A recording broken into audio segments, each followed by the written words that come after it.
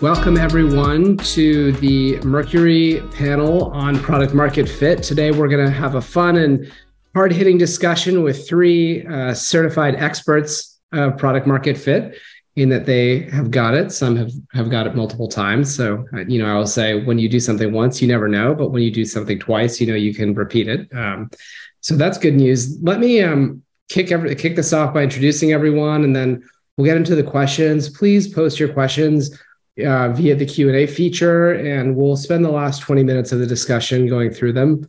And no holds barred. Um, these are these are the folks that you wanted to talk to. We've got them here with us. So whatever's on your mind, please ask it. Immad is someone that I've known forever. Um, Immad is, of course, the founder of Mercury, uh, the bank that hopefully all of you are using much, much better than Silicon Valley Bank. I can tell you, having used them, uh, at least for my last startup, I know uh, Immad from running a company in the mobile gaming space called HeyZap.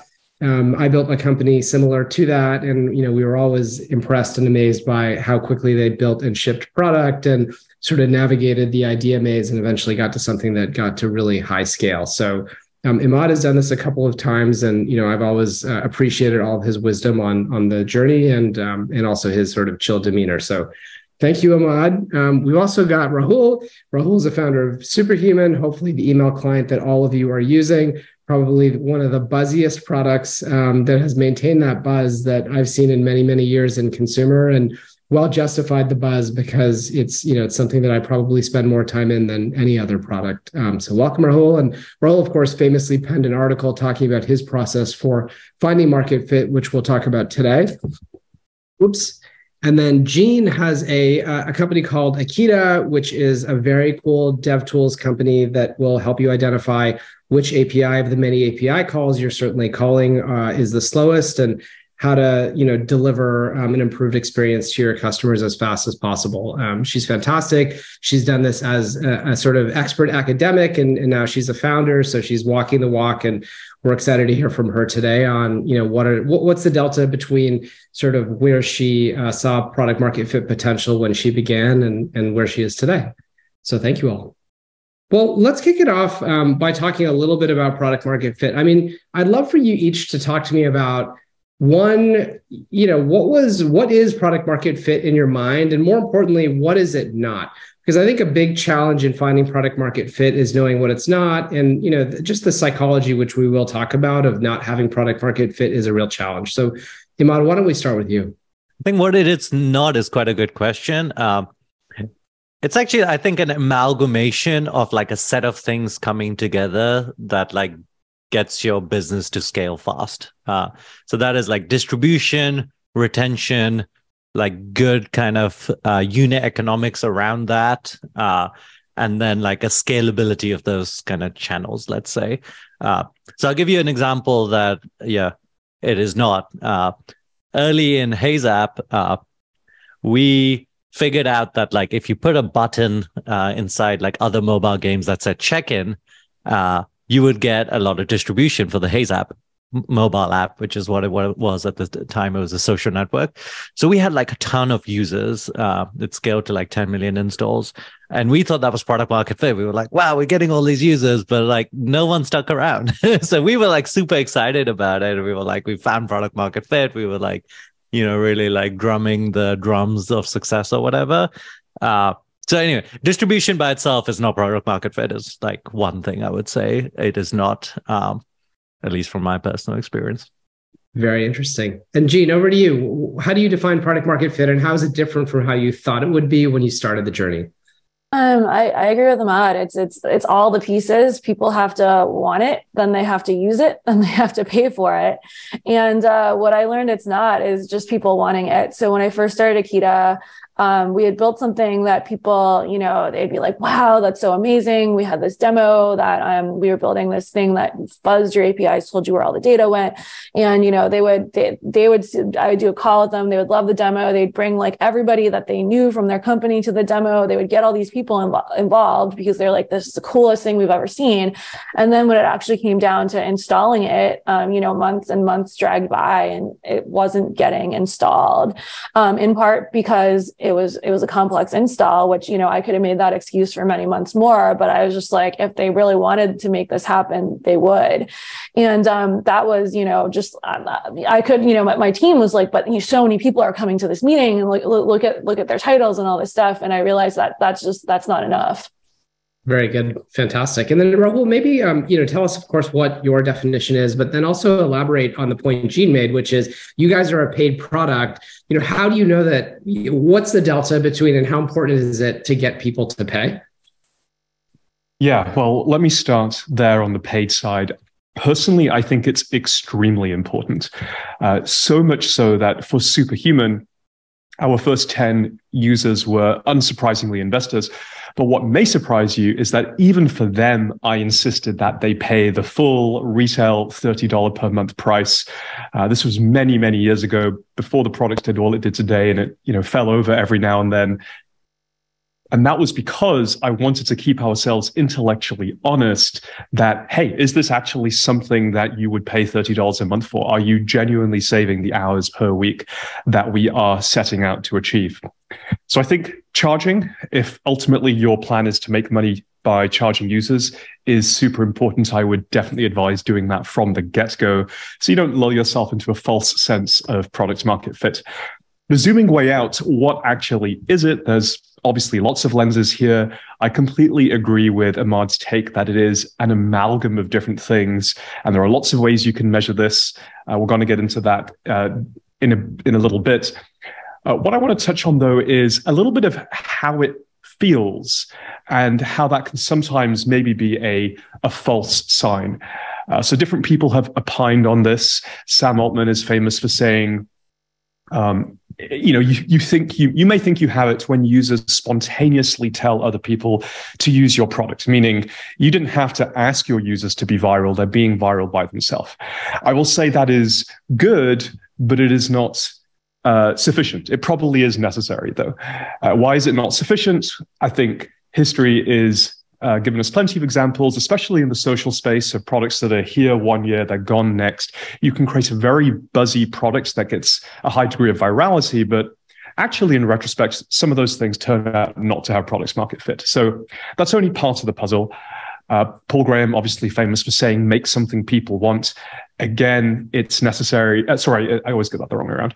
It's necessary, but not sufficient. It's only part of the puzzle. Uh, I think Marc Andreessen's done a really good job of characterizing this. You know it when you have it. Uh, you know, customers are buying as fast as uh, you can add servers. You're hiring sales and support as fast as you can. Uh, cash is piling up in your checking account. Reporters are constantly wanting to speak to you. Investors keep wanting to invest. But the problem with that definition is it's a post hoc thing. Uh, but that's right. probably the best definition I found. Like you know, you clearly know when you have it. Uh, and a lot of what I've spent the last few years thinking about is how can you sequence the steps to getting there?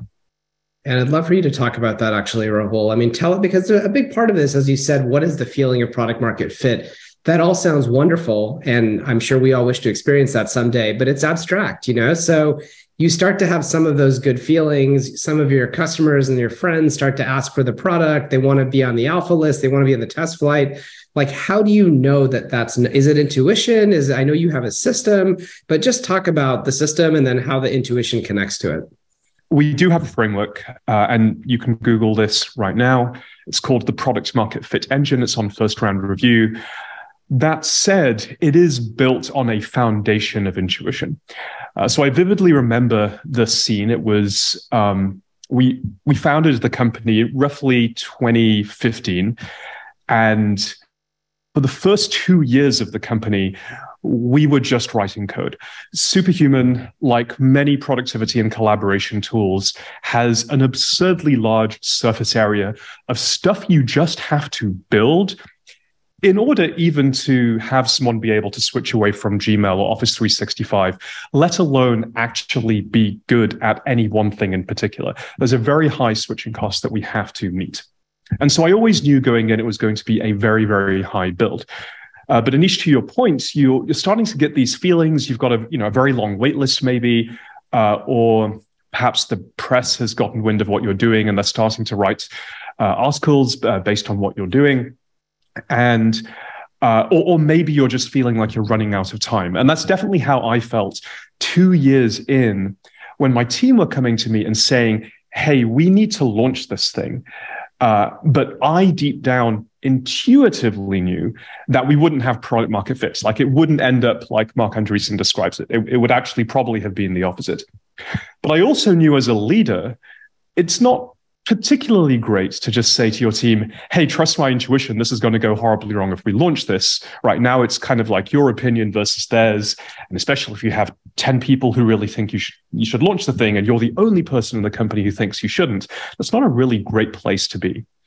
Uh, so that's why I looked for a very systematic, metrics driven, framework oriented way to actually measure products market fit and to get away from some of the problems that net promoter score or sam altman's take which is you know users spontaneously telling other users have and we ended up in a uh, with a metric that was popularized by Sean Ellis. You may not know that name, not as famous as the other folks I just mentioned, uh, but he is famous for coining the term growth hacker.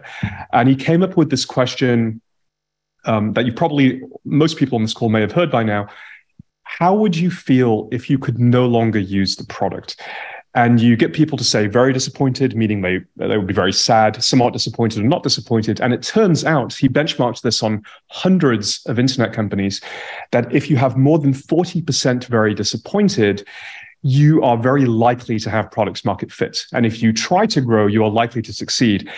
Uh, and if you don't have that metric and you try to grow, you're also likely to fail. So he, he found it was predictive both ways in a way that was much more compelling than net promoter score.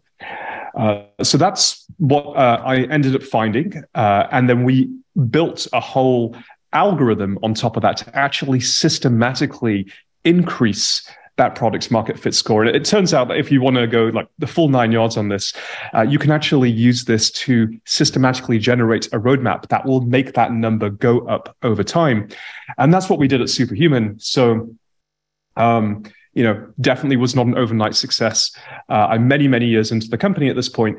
And I remember at that time when the team was saying, hey, we should launch this thing, I came back to them and I said, This is our plan. We measured the number and we were like 22% very disappointed. That is bad. That's almost like you should maybe go and do another company bad. um, but we systematically increased it. So we went from 22% to 30% to 50 to like 55% over the course of three or four courses. Got it. Lovely. That, that's so helpful because there's nothing more frustrating to hear. Like you'll know it when you see it it's like, well, okay, I've never seen it, so how will I really know? Um, Jean, I love that you mentioned team role. Jean, I know you had some thoughtful takes on how to manage the team, how to hire for the pre-product market fit team. Can you elaborate a little bit on how you've done that at Akita? Yeah, so I, I, will say that um, a lot of the hiring advice I had gotten prior to Akita was sell people on a dream and tell them what you're going to do and then hire people for it. And I quickly realized you can't do that if you're a pre product market fit company because you sell people on one dream and one plan and they show up and they're like, all right, cool, I'm ready to do that plan. It's very dis- disorienting if you have to change that plan. And so what I learned is that, um, and you know, I, I had uh, like one of my earliest hires hires showed up and like one week later left because they were like, I, I thought this was just going to be the plan. one weekend, I was like, let's let's examine the plan, and he was just like, oh my god, like I can't, I can't do this. And so uh-huh. what I learned is, um, you sell people on the dream. Like the dream needs to stay the same, but actually being very explicit about, okay, this is what we know this is what we don't know. This is what we're going to test. And if their response is what do you mean test? I thought this was the plan. Uh, mm-hmm. that is that is not not a good person company fit.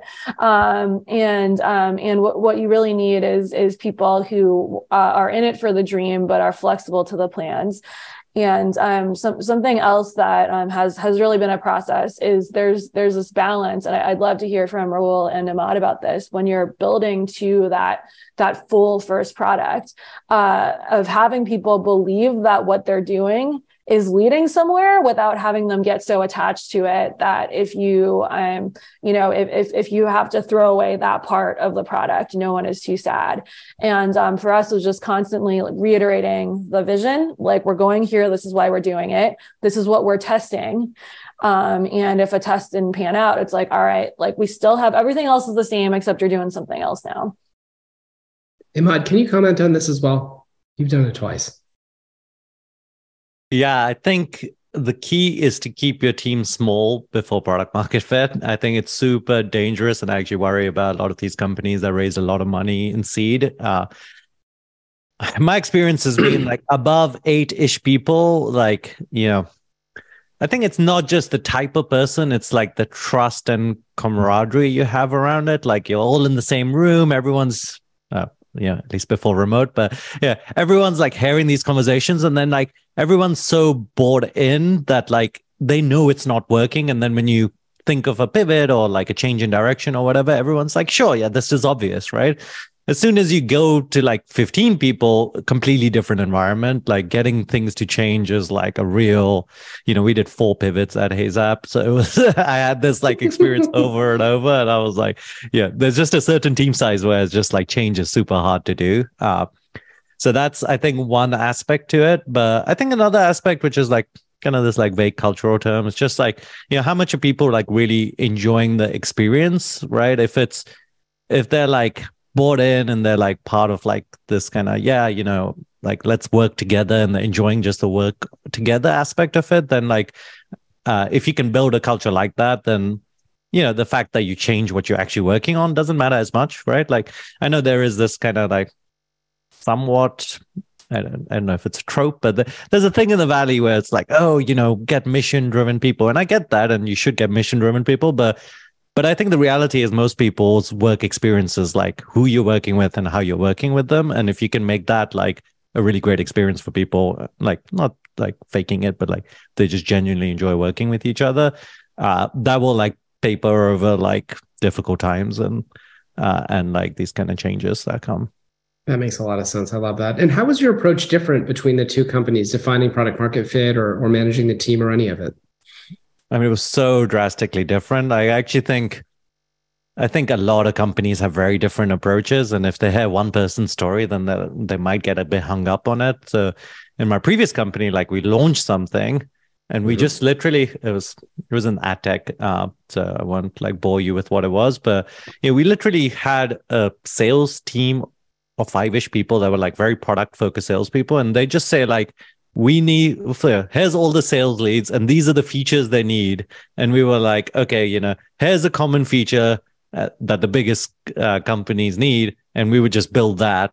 And then a month later we would do the same exercise and would say oh why aren't they using it? And if they're using it i was like okay good. Like that feature worked. And we just went like we had like an basically an, we launched something kind of crappy and we had a nine month process where we just kept building like the top feature that the biggest companies we could get to needed and like after nine months, we had like pretty strong product market fit. So it was like very much more of the MVP and iterate approach and be very customer focused. Uh, and it wasn't like obvious that we were getting to product market fit. I mean, we didn't have like a Rahul's nice framework uh, to work with, but you know, by the end of it, it, it, like there was a point where it like suddenly flipped from like our sales team having to bring everyone in to like you know, every week someone just like coming in and we were like, who the hell are they? And they were like, you know, it was a self-service product as well. And they were like, became the biggest app that was using uh, the, HeyZap. So like, that was like kind of my mental flip. I was like, whoa, like where'd they come from kind of thing. Uh, so a little bit of like kind of Sam Altman's kind of take there. Um, at Mercury, it was, yeah, it was pretty different. Like I knew what the problems were at a bank. And there was similar to Rahul, there was like pretty high bar of like, here's all the things to build and here's mm-hmm. how to make them better. We spent a year and a half kind of building them and we launched as soon as we had all the features. Uh, well, probably a little bit before we had all the features. And it was like, kind of like very obvious product market fit from like the first week we launched. I have this like funny story where like four days after we launched, someone I'd never met or spoken to like sent a million dollars to a Mercury bank account and I was like, what the hell? Like, I just thought they were completely crazy, you know? Like, it's like a, imagine seeing a startup on Twitter and then signing up for a bank account and then sending a million dollars within like four days. Uh, I was like pretty impressed by that person. I should really look up who it is and say hi to them. Absolutely. Yeah. Yeah. You should bring them a, ch- a giant check or something. yeah. um, so, okay. So, this is a great point. You mentioned metrics. Rahul, talk about for incremental features you launch how do you know if they're working if they're con- like do you are you trying to understand if they're contributing to the product market fit or are they very narrowly focused on a metric you want to drive or is it more intuition based this is probably something that we don't do particularly well. But then also, I'd caveat it by saying, and, and you would know this as a superhuman customer, it's it's kind of a gestalt product. Like Superhuman gives you a holistic sensation, and you, you definitely save hours per week. But it's actually kind of difficult for a customer to articulate it's precisely this thing, this feature that makes that true. I don't think every product is like that. Uh, it sounds like the, the approach that Immad took, for example, at Heyzap was let's build the most requested thing and let's keep walking down that list. Uh, and I think in many cases, especially in B2B software, that's actually fairly likely to work. Doesn't always work because you can have uh, different customers of different types with different propensities to pay, pulling you in different areas and you might be spread too thin. So definitely watch out for that risk. Uh, but in B2C, and I would characterize Superhuman as sort of B2C to B, we are adopted by individuals, usually for an individual email problem before we sell to the enterprise. It's much more challenging to sort of tie it to any one feature or, or any one thing. So we were much more vision driven. We had an approach of we're going to build the fastest email experience in the world. It's going to save you hours per week. And we're going to split that up into sort of two parallel streams of activity. Number one, doubling down on the things that users love about the products.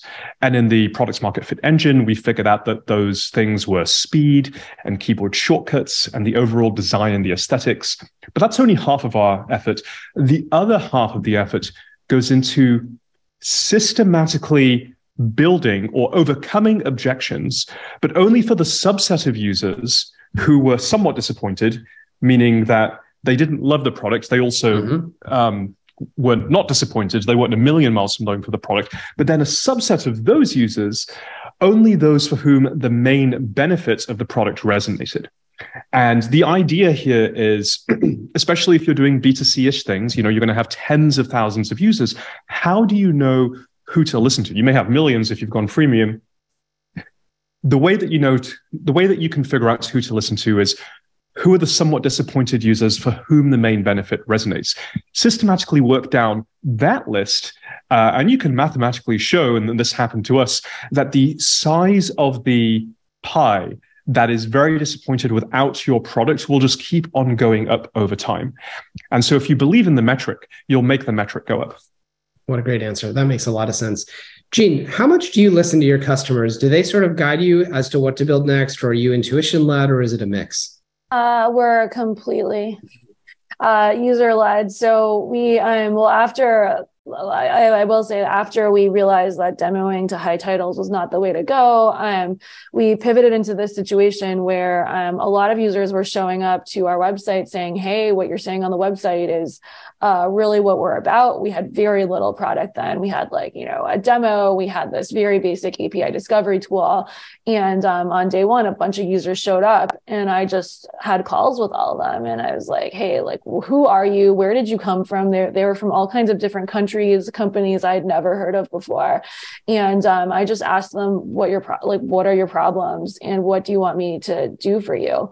Um, and what, what I learned was um, people telling you their, their problems is usually very accurate and people telling you what they want you to do is usually highly inaccurate and so people have a very um, anytime anyone hmm. has had a feature request it's you know like you give them a feature they're like what like i asked for this and you're like yeah you asked for this um, but you know people people are, are, are usually pretty pretty self-aware about problems if you walk through like you know tell me tell you know tell me what the problem is. Is this really the problem? Let's walk through your whole your whole uh, flow of you know the tools you use stuff like that. Like people are very good at answering those kind of questions.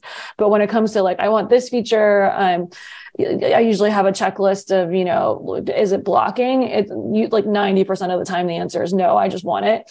Um, but um, why, why do you want it? That's usually, uh, for me, a much more informative question than, uh, you know, like what you actually want. And, and, and our, our team spends a lot of time thinking about like zooming out, like everyone's at, like, people have asked for these 10 things. Are they really the same thing? Do we have something missing in our product?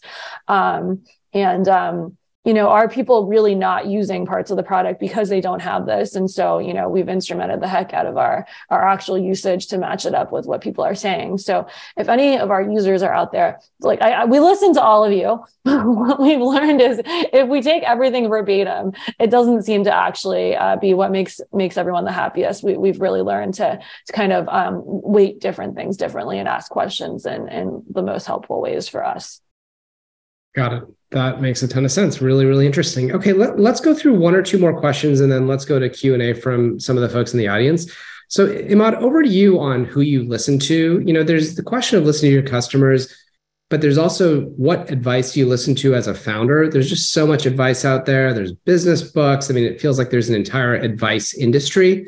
So, how do you sort of tell what is signal and what is noise, and how has that changed over time? That's a great question. Uh, I think the key to advice is like not listen to advice literally, but like understand how that person thought and came up with the answer and try to then apply the thinking, which is like a lot trickier. Uh, like take uh, like Rahul's thing. Like I think there's definitely like an element, and I remember doing this as an early entrepreneur where you take it like too literally and you'd say, okay, like let's start measuring this and uh, and like maybe it could be the right thing to do uh but like you might end up wasting a lot of time and it just like didn't make sense for you in that particular time in that particular position. Like maybe you're just an enterprise startup and like it doesn't quite make sense to measure uh measure it when you have so many stakeholders. Anyway uh i think like really spending a if you're gonna take on advice and you should and there's so much to learn from nowadays and that's amazing. But you should really spend extra time.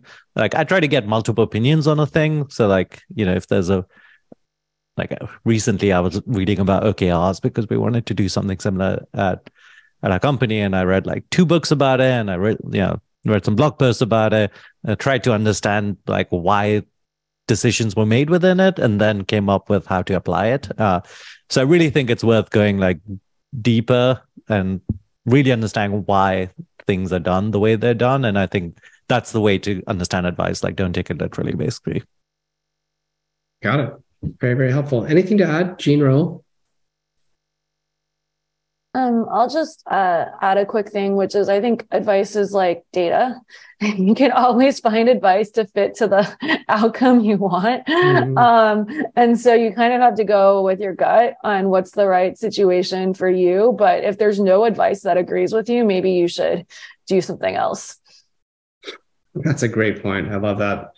Super well said. Okay, let, us jump over to the Q and do a couple of questions here. So, here's a question. I'll, I'll, sort of leave it open to you three as to who who will respond to it. The question is: I'm in a phase where I have to choose between building my software product faster or building it in a manner that will enable us to scale quickly without rework.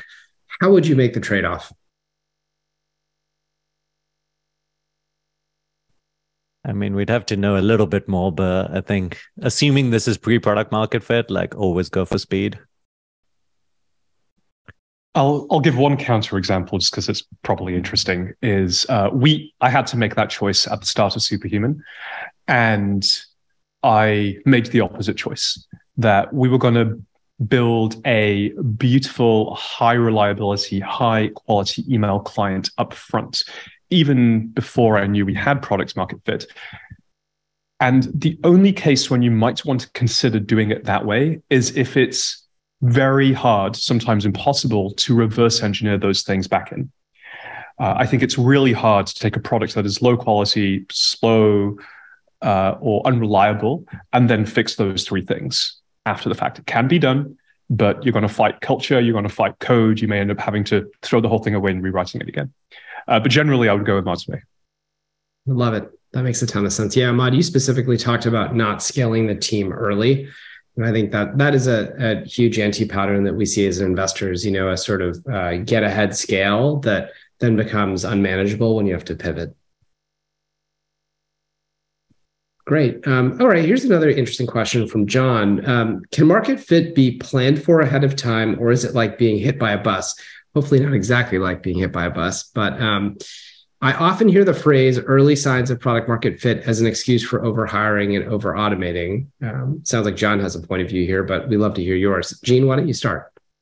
Um, I mean, for us, I think like any everything we planned for was not not exactly the thing we expected, and it was very much about listening to the market, listening to the users, and ending up somewhere where I did not exactly predict in the beginning. Um, and so I, I think in, in my case, but it's it's really a data point of one here. Um, no, and I think if we had stuck to our plans, we would be in a much worse place right now. Um, so I agree with Immad. Like um, keep the team as lean as possible and get things in users hands as quickly as possible because what they what they want to do with it is uh, might be very different than uh, than than what you thought they would want to do with it got it anything dad roll no Rahul, here's a good one for you. So, what is the right moment at which to ask users if they'll be very disappointed if they can't use your product? For example, if you release an MVP with a limited feature set, that's presumably not the right time. Is there a right time? Is it a moving target, or or is it very specific, uh, case specific? The rule of thumb I have here is once the user has had the chance to experience the core value proposition of whatever it is that your product or service does. Uh, so let's take some easy examples. Let's say it was Uber. I'd probably ask them just after they've uh, finished their first ride, uh, or in the case of Airbnb, just after they've stayed at their first stay.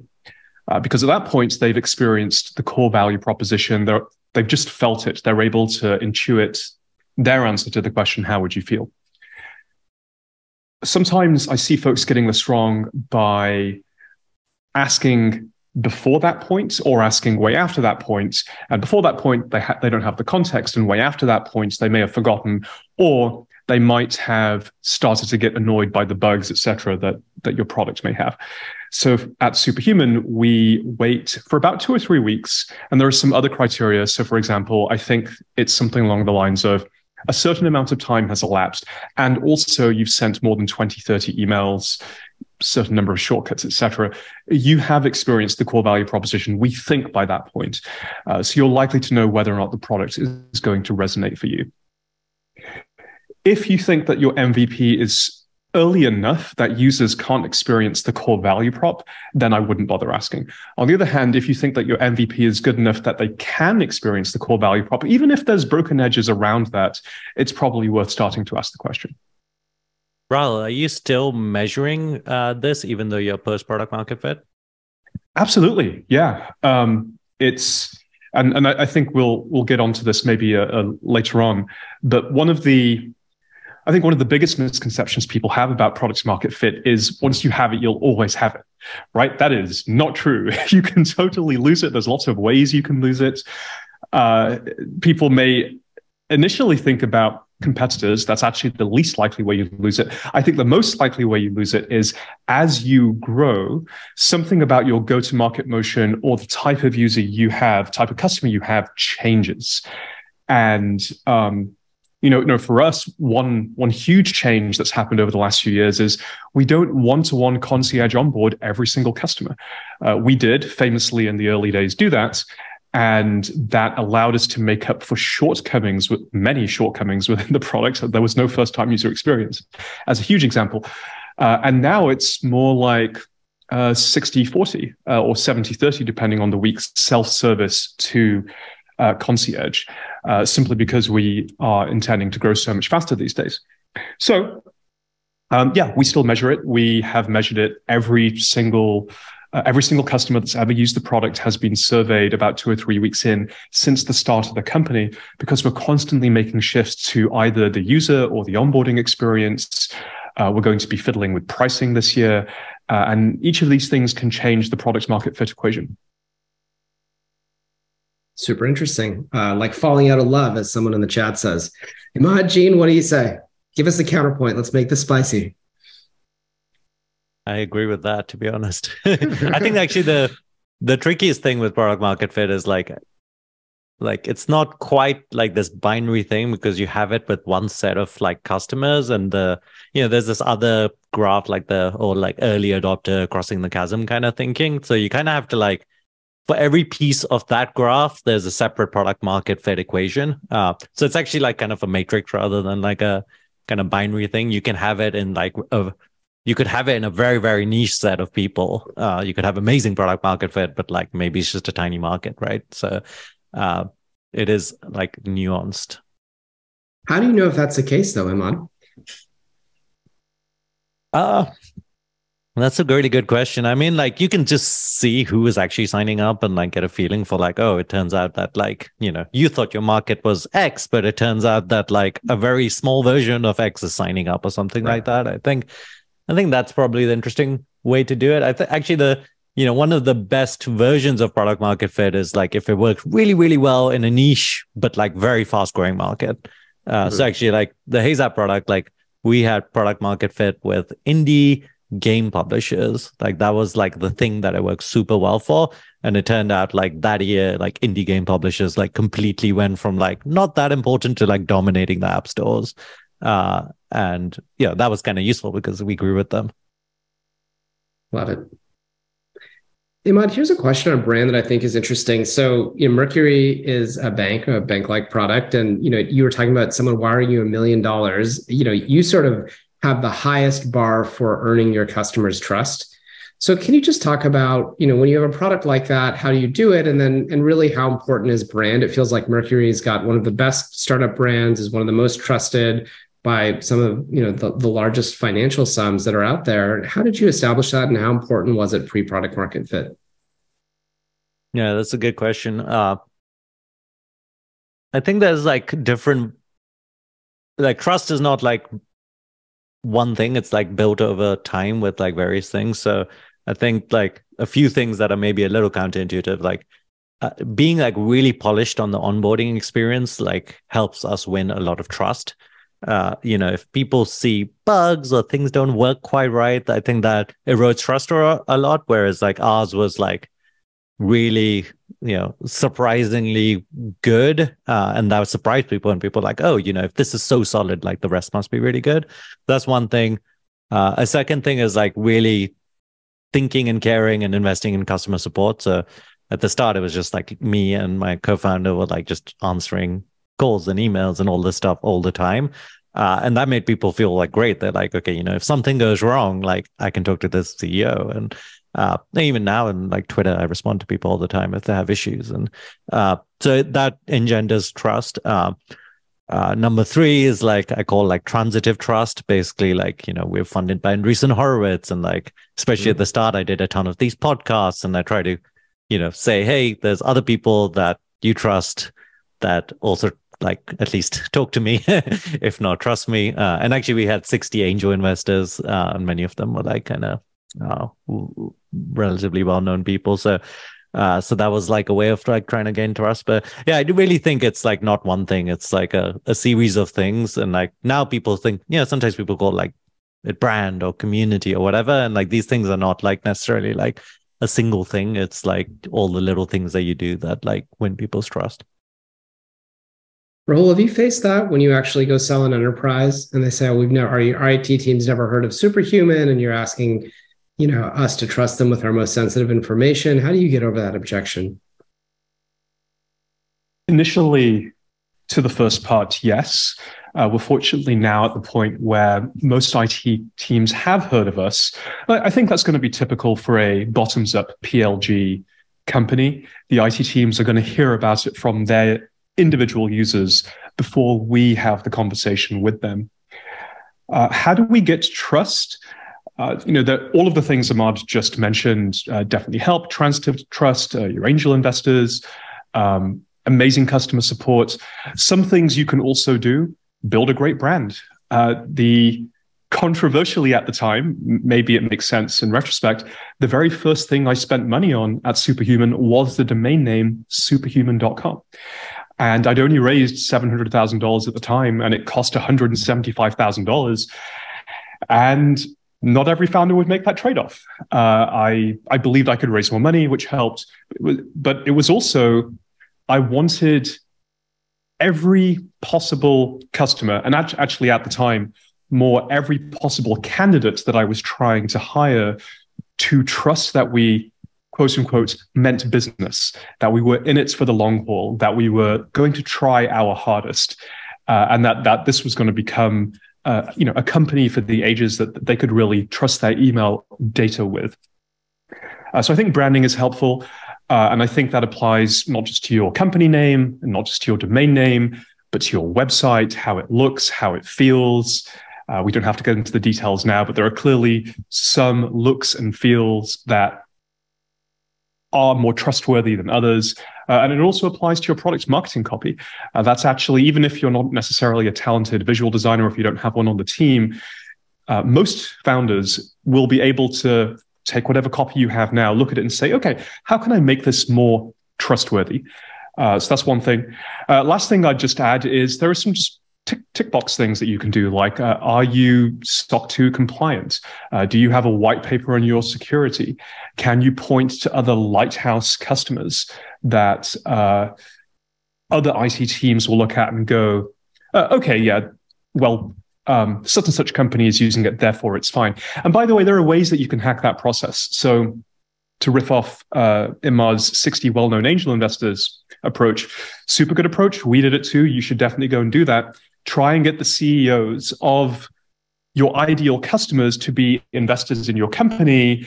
Then you might have a little bit of an easier way in when you try and eventually one day sell them to use your product.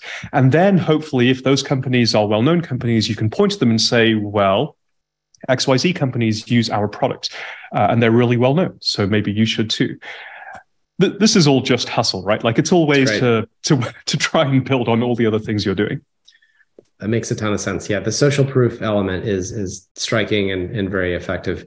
Jean, do you think about brand? I mean, do you think about developer brand, or do you feel like if it works, you, you'll earn their trust? Um, I think brand is extremely important to us. Um, I think one of our biggest external costs is the fractional design firm we work with. Um, brand for developers is very different, um, but people do also want to know they can trust you with um, with their code. A big question we used to get in the beginning is how do we know you'll still be around? Because it is a big commitment to monitor your system using something, and that monitoring tool goes away. All of a sudden, you're losing one to two quarters, kind of switching your whole team around to something else, and so. Um, for us, um, I think that you know developers don't really care about who your investors are. They don't care if your CEO or if their CEO cares about you. But what they want to know is that you have attention to detail, that they can talk to you if there's any problem. Um, I think there's you know certain other developers they kind of listen to, but you know developers are very uh, there's there's very different different ways um, influence happens there. But for us, the big thing was um, you know we're we're looking at pretty potentially sensitive data so they install an agent in their systems and we see all of their api traffic um, the biggest thing there was we were very transparent, and I, I, think we could probably do a better better job of this of just explaining like we architected our system so that we actually never send your traffic to us. Um, we've gotten around not being SOC 2 compliant yet for that reason. We have you know like letters we send lawyers and things like that, but um, just people really trusting us technically and to you know do our best has actually gotten us into places where we like we really had no business getting this this early. What a great answer. Really helpful. Developer trust is just as important. All right, we've got one more from the chat here. So, question to you all. So, I'll let whoever take this. Um, can you talk about the journey in finding ICPs to zoom in at the early stage of finding market fit? Um, how do you find out the best channels to reach your potential ICPs? When did you know they are the right ones um, versus, you know, probably not quite and you need to move on? I mean, the easiest trick to it is if you are your own ICP, uh, which I did not manage previously, but at Mercury, I was like selling to startup founders and early stage startup founders, which I had been for years. So I think that if you do that, then you know where channels you sit in, you know how to talk to them. Uh, it's not always possible, obviously, but I do think that's like the the like the easy hack if you can be your own kind of customer. Jean, what do you think? Were, were you actually facing this problem yourself, or what was your story of the sort of earned secret? Um, so this is we're we're still honing our ICP. Um, you know, I think a lot of it for us uh, because we're taking this bottom up product led approach it's really about who who shows up and finds us and so it was very much about me getting to know who is showing up, why, um, what do they want. So we had, you know, anywhere from very small startups to very large companies showing up. Um, and then it was a narrowing of like, okay, the larger companies all want custom stuff. It's going to take us like three years to build this. We do not have the team to support it. The smaller companies, we, we like some of the smaller companies, we interviewed them and they're like, yeah, we'll pay you about as much as we pay for GitHub. And I'm just like, this doesn't even co- cover our operating costs. And so, you know, then, then we're like, okay, the companies with a budget size that do not require the customization that, you know, would would lead us to hire a much bigger team that that ended up being our icp but it was really a process of seeing who showed up on their own because I, I didn't want you know i wanted to be bottom up. I i believe we were stickiest that way. And also if you just look at look at cost of customer acquisition like you want you want to be doing this in developer tools if you can um, and then just seeing what their what their requirements and asks were and budgets. Got it. Super helpful. Budget's key. Yes. Um, okay, here's here's an interesting one on competition for Immad and Rahul. You know, how, how, do you if you're not building a network effects product, which most companies are not these days, how much do you think about competition from incumbents, from startups, or do you sort of do the Amazon thing and just fully focus on your customers?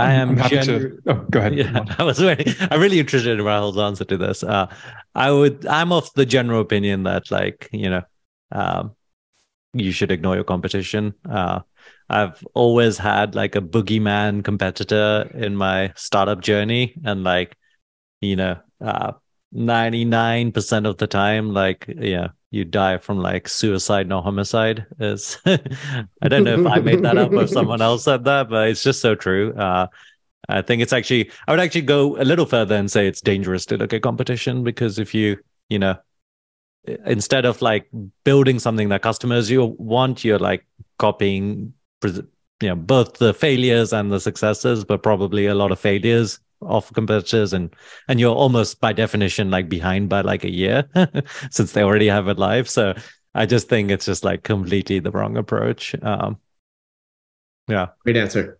Rahul what do you think? Agree disagree?